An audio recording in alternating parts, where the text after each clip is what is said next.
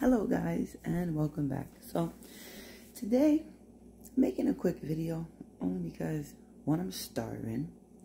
Two i just realized i didn't review these with you. I honestly don't think i've had these before but guess we're gonna have them together today and review them so we are gonna have the ultimate plant-based chicken tenders from Gardein. Now, the um, other day we tried their chicken patties from Gardein and we liked them. Wasn't too bad. We're going to try the chicken tenders. Now, right off the bat, I really like these because it has more inside than the Impossible, um, nothing. Was it the Impossible Nuggets? No, I didn't try the Impossible Nuggets yet. Can't find them. If you're able to find them, let me know and we'll work something out on me getting them from you.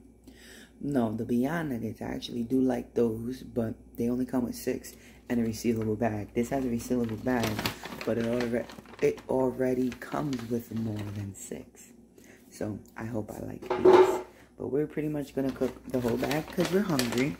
And I decided to make some potato wedges with it. So, we're just following the directions. I'm putting it on the thing because as you heard that beeping, my oven ready. And I got a call in 10 minutes. So we're going to have to do this review. And then, or cook my food while I'm on my call. And then hop off, finish my review, and then hop back on. Anyway, so that's what we're going to have to do. So already, I get three more nuggets than the Impossible Nuggets, which is a plus. So what I'm doing is following the directions says preheat oven to 450 put it on non-stick baking sheet which is what i did. I didn't spray the sheet. Oh well. Cook to 16 to 18 minutes flip once halfway through. So that's what we're gonna do and then we gotta make the potatoes. So the potatoes takes longer to cook what it seems like. So i'm gonna peel wash and cut and season my potatoes and we'll be back for review time.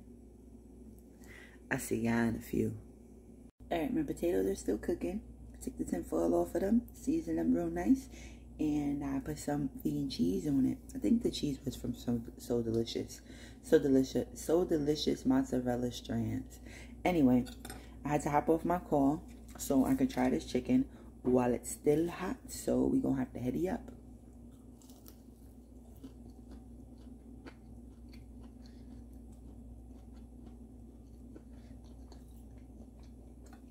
So, I like it. It tastes better than the chicken patties that I had the other day, which is a plus.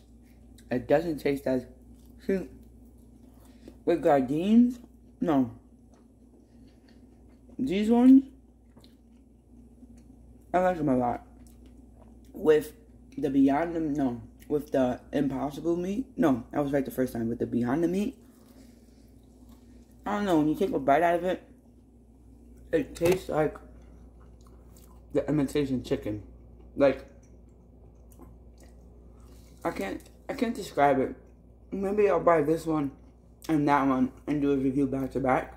But I just have the impossible um not the impossible, the ground I can't fucking speak. I'm trying to hurry up so I can go back in the call because I'm hurrying up, I'm messing up, so I apologize. But the Beyond the Meat I guess I'm gonna have to try it in the oven because both times I made it in the microwave and it was like, I don't know. It tasted like chicken. It gave me chicken flavor, but it was just like, it tasted like ABC, not ABC meat, just regular processed chicken nuggets that I've had before, like the school chicken nuggets. Like you know how when the chicken nuggets from school just tastes off, like it's good, you can eat it, but just sometimes it's like, what is this? And that's what that was.